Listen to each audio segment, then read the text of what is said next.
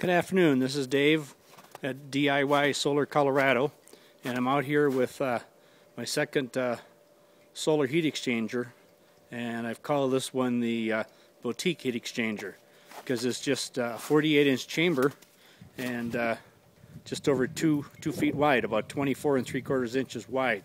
And as you can see, it's very small, uh, yet it's very powerful. This one weighs in probably about 15 pounds and I've got it out here now in the afternoon sun and we'll see if this video will pick up the temperature. I'm right under 180 degrees right now. I don't know if this is going to focus. We'll try and focus this on this. But anyway, uh, it's doing real well. It's uh, it's getting up in the temperature range that I'm really looking for.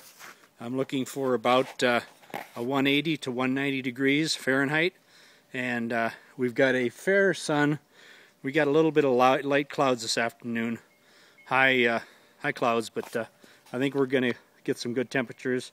I'm hoping uh, in the next hour that uh, we can hit the 190 degree mark. We'll try and get some pictures of that. So uh, we'll uh, we'll get this on the the website again later today. Thank you.